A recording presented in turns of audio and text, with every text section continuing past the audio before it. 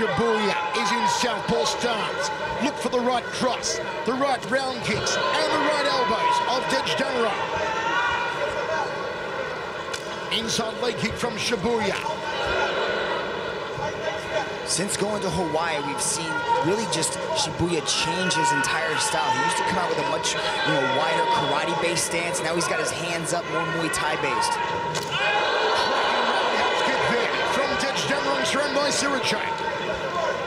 He's got to be careful. He doesn't want to eat too many of those. You can see his elbows are kind of flared out, so that opens up his body to that right, that right round kick. And Shibuya leans back like Fat Joe to evade it. Inside leg kick from Shibuya.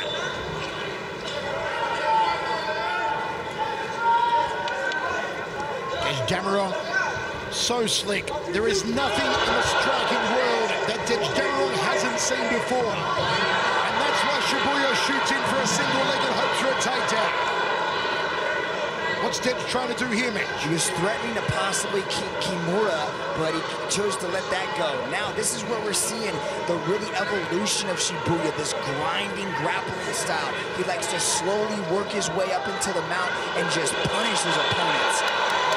Inside the half guard, looking to posture up and work the ground and pound. Dejdamrong trying to get back to his feet. Oh, the choke attack from Shibuya!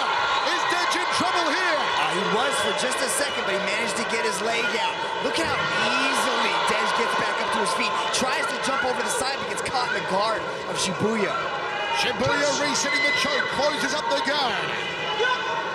Glances towards his corner. There's a good view of Dej and how he looks at the moment. The neck is trapped. He tries to bang his way out.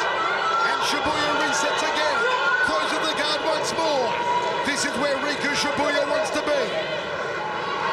How Dej is trying to jump out the guard there, but he's, he's kind of jumping into the wrong area. He's got to get the kind of go the other way. Yuji Shimada asking Dej if he's okay to go on. Shibuya gives the referee a crazy eyed look. One butterfly guard on the left leg. Now the full close guard again. He's Dej stuck here? Can he get out of this predicament? Shibuya squeezing. You see the veins in the forearm. Oh, he's forced to tap out. Shibuya tapped him out.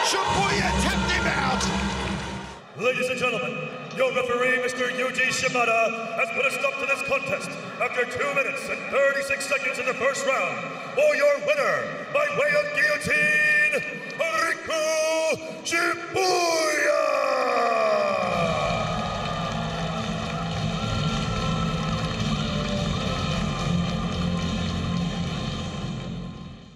guys, it's Miesha Tate. If you want to see more awesome One Championship content, make sure you click that subscribe button. Click it so you don't miss it.